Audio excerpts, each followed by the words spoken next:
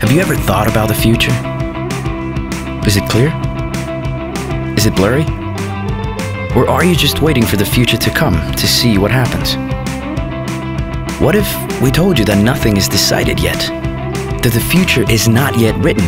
Instead, it is being written at this moment, and it's you. Your beliefs, your worldview, your understanding, your actions breaking down barriers and building positive change.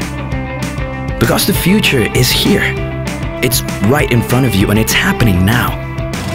This future is fast changing and it's eager to learn from you. To see the diversity of the world through your eyes. A world where everyone is included. And learn that peace comes in many forms. In how we communicate and listen to each other.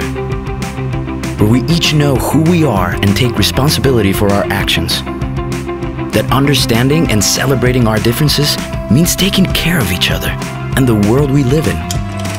But more importantly, the future is eager to learn from you and follow your steps towards becoming a citizen of the world. So, for this amazing future, are you ready to take the lead?